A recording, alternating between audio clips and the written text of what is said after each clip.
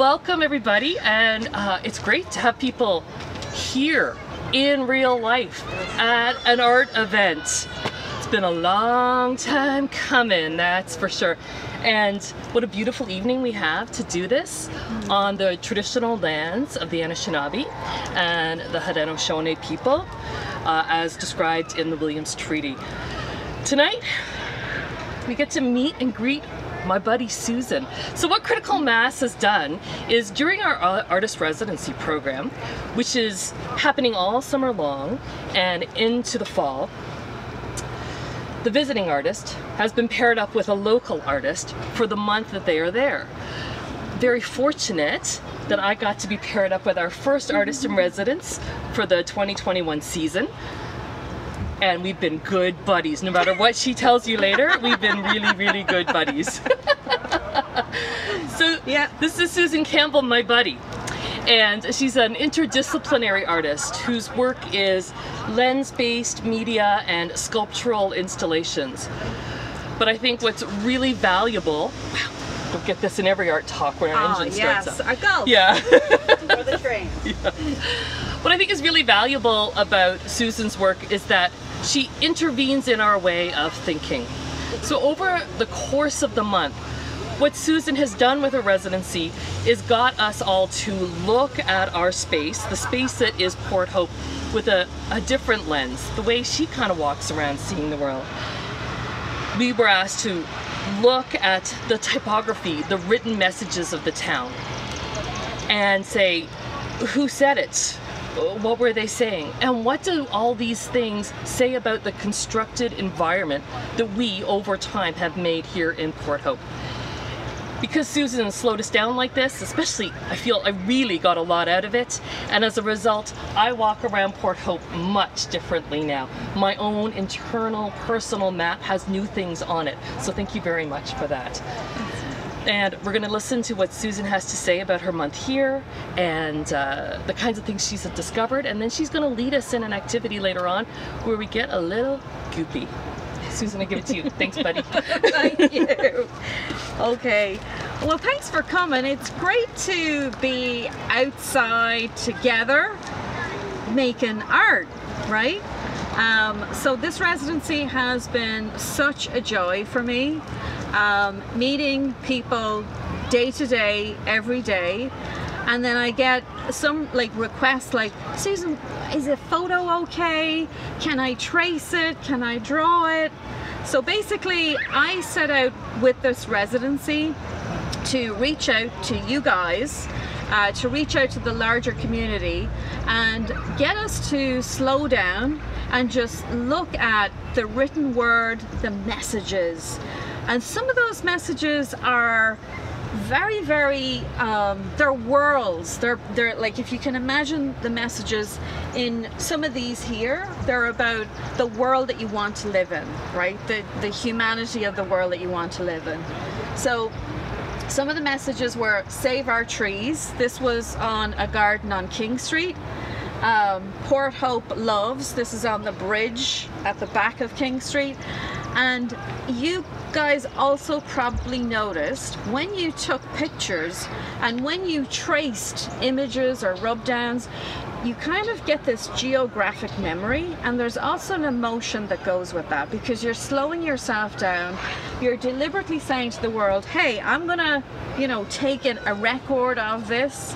And so with that comes space. So time space and that is the relationship to your environment okay?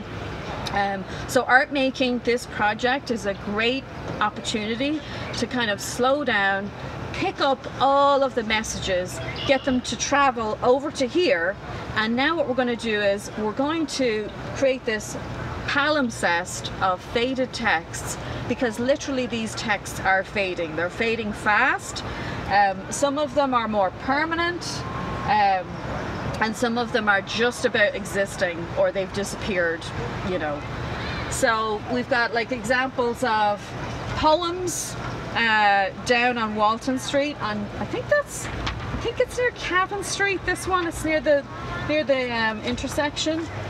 So when I say world making, I mean this is the the world that we hope to live in. Okay, so um, the idea of taking a return flight, the idea of a better world because you're in it. The idea of save our trees. So literally, a tree is speaking to us and saying, "Save me." So th- these are all hu- like human stories, okay? Um, and then you've got like forever, and then you've got the attitude of, you know, who am I in this world? Balls out. I'm not sure what it means, but I know that there's a huge attitude behind it.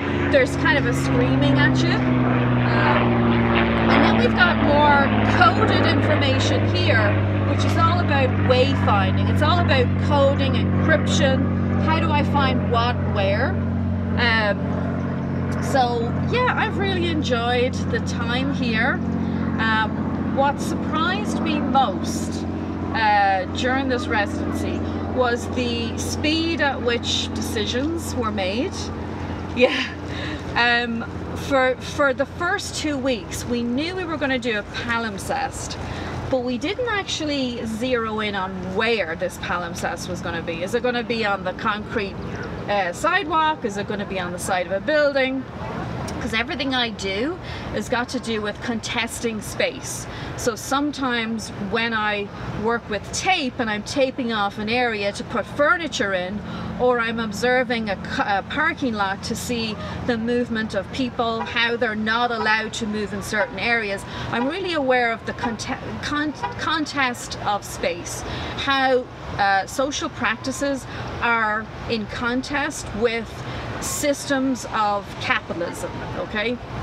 Um, efficiency and stuff like that. But this one is a really kind of um, a good break for me because again, it's getting the um, contested spaces and gathering up all of those messages and kind of creating a map, okay? So again, maps, just to keep in mind, maps are deliberate narratives, okay? You want to be aware of who is speaking to you, what are they trying to convince you of, and what is the map for? In other words, what is the map selling? So sometimes a map is telling you about the priority of traffic over people. Sometimes it's telling you about the pri- priority of private property over social practices. So you get displacement and you get kind of frictions between society and property owners and stuff like that. But this project has been kind of a real eye opener in that Port Hope stretches or it straddles many, many ages. It goes from 1800s right through the Industrial Revolution, right through to uh, 1900s, right through to today. And so I'm kind of pleased at the the range of inscriptions that we've gathered, okay? And so that map is a kind of a democratic map because I'm not making the map, you are making the map, okay? Um, so we've got the, um, the Fieldstone fountain and we're basically going to create this in like this monument of inscription okay? This monument of all of these messages that we brought together. How wild is that okay? Um, so I think you'll enjoy it. I'm going to do a quick demonstration. But when we were talking about it earlier on you know, when you think about the youth that are asking questions about non binary, about who they are, about the world that they want to exist in, um, it's so important to kind of listen and um, kind of look at the questions that people are asking us and look at who owns what information. So, who gets to dominate the narrative, okay? And I think with this, it's a kind of it's breaking up that narrative. It's getting more diverse. Okay, um, so yeah, we'll kind of create this semi Tower of Babel with all of the messages that we've gathered. Um, I'm not sure we're going to build it up much like as in the Tower of Babel, but we'll we'll start at the bottom and we'll we'll keep going because on Friday and Saturday uh, we'll have more activity, more paced up, more workshops for, for that. Um, so I could start with the uh, I could start with the demonstration if you like. Okay. Okay.